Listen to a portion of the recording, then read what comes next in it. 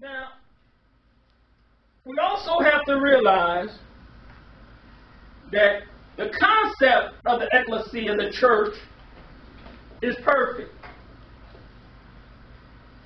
The issue is the components of the ecclesia are not.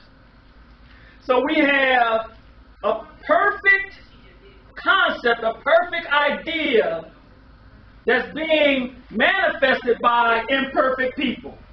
So there are some issues that we may run into.